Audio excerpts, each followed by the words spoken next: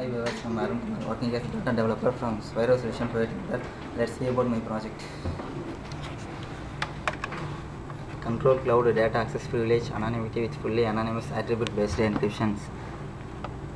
Privilege means access the permission, then anonymity is used to hiding the user details and uh, also owner details.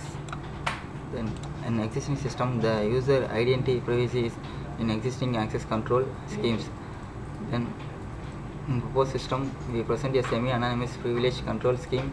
Anonymity control to address not only the data privacy but also user identity privacy in existing access control. In proposed schemes are able to protect user against each single authority. In existing system, we can express arbitrary general encryption policy. Our system also the compromise attack towards attribute authority, which is not covered in many existing works. In proposed algorithm used to attribute based encryption it is used to a message is encrypted for a specific receiver using receiver public key. Then advantage is the compromise attack toward attribute authority covers in many proposed work. The user privacy is secure in single each authority. In drawbacks the compromise attacks toward attribute other authorities which is not covered in many existing work. This is the architecture diagram. Then data owner upload a file to encrypt the attribute based encryption then outsource the details from the cloud.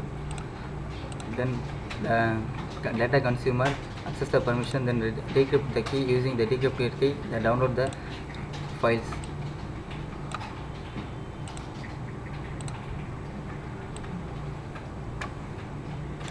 The software requirements of operating system windows 8.1 and windows 8 then windows 7 front end is used to microsoft visual studio 2013 and back end sql server 2012 must then coding language c sharp then hardware requirement is pentium dual core then hard disk 1 160 gb the ram 2 gb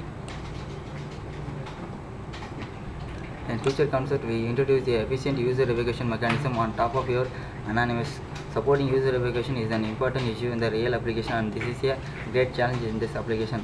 In future algorithm is a SHA algorithm. This is used to reduce the file size and there is a very low probability that the same string would be created for different data.